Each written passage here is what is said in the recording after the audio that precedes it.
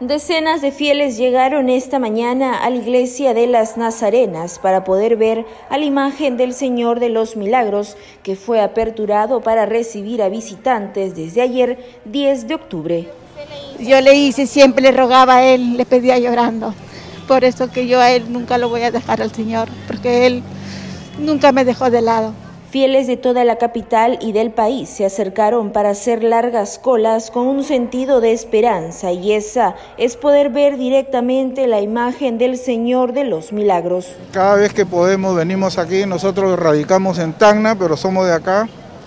Y cada vez que podemos venimos a orarle y a rezarle, a pedirle a Cristo de Pachacamía nos dé mucha salud para todos, eh, sobre todo con esto de la pandemia, que parece que ya está calmándose, entonces pedir por toda la humanidad, ¿no? Por su protección y su bendición para mis hijas y mis nietos y mi madre.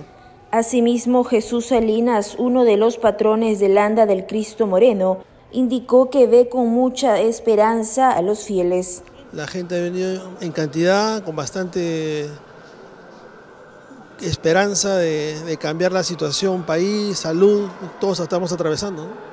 Eso es lo importante. Es así como familias enteras vienen a pedir por la salud y la tranquilidad de sus familiares, además de agradecer a todos.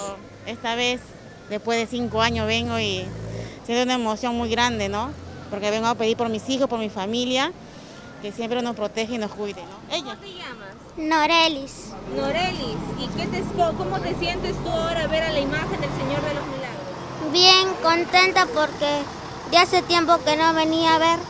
¿Qué le vas a pedir ahora al Señor de los Milagros? Que cuida a toda mi familia y a mis mascotas. Fieles como esta joven que fue inculcada desde que era una niña, llega al santuario más que nada a agradecer, ya que trabaja en un área COVID y nunca se contagió. Soy muy niña, mis padres me han inculcado. Y hemos agradecido siempre cada año viniendo a, a agradecer más que nada al Señor por todo lo bueno, por todo lo malo y ahora pues más que nada que estamos en tiempo de pandemia, yo soy técnico de enfermería y he estado en área de COVID, agradecerle más que nada que a pesar de que he en esa área no me contagié.